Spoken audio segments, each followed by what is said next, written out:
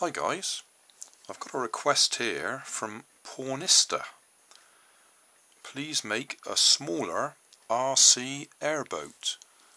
Well, he didn't say smaller than what, so I assume he means smaller than this airboat that I made a while ago, and as you can see, most of the bits are missing off it now because I've been cannibalizing it for other purposes.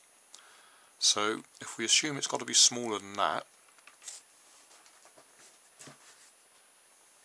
my plan is to use this polystyrene tray. Um, it's not in particularly good condition because it had my chips in it. So it's a little bit um, misshapen along the edge. But that should do us the basic hull um, I'm going to take this radio controlled car apart and take the receiver out of it because that's got motor controllers on it that drive the wheels backwards and forwards and the motor in the front there it turns one way or the other to make the steering work. So that should give us forwards and backwards on the airboat and my plan is to have two motors on it. I've actually got three here. So one at the back to make it go forwards and backwards and one at the front facing at right angles to make it go left and right like the ones on those little toy helicopters do because that's where I got the idea from so we'll try that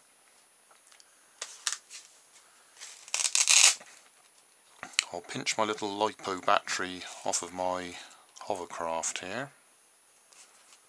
I've got some more connectors to connect it up with, so hopefully that LiPo battery will be powerful enough to drive the receiver and also drive those motors. I don't know if it is, but we'll find out.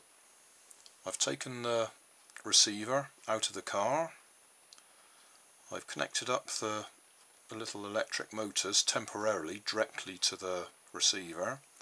And I've also got my LiPo battery connected directly to it. So if we just try the transmitter out if I can get that in the picture at the same time. Okay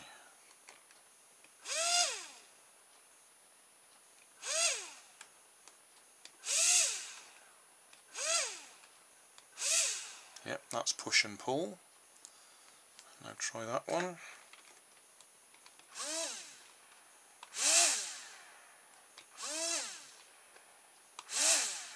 Yep, that's working push and pull. So I might put the receiver in a plastic bag or something just to protect it a bit. And then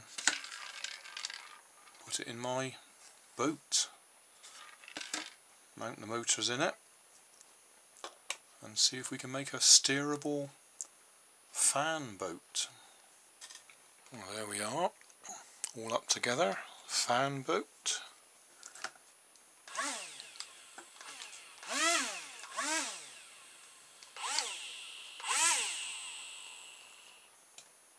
So we'll have to go and try it out. This is just the very basic test. We're in my bathroom sink. So We'll try forwards and backwards.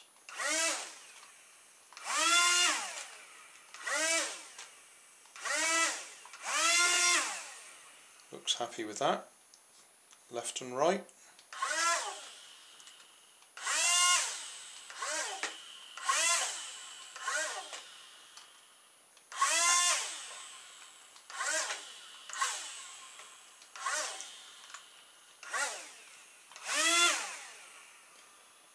So we'll have to go and try it somewhere where we've got a bit more space.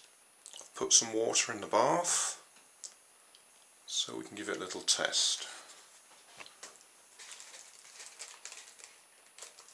Switch it on. Yep, that's right.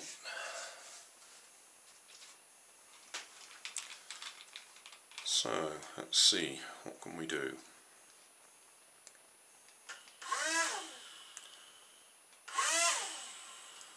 Can certainly turn.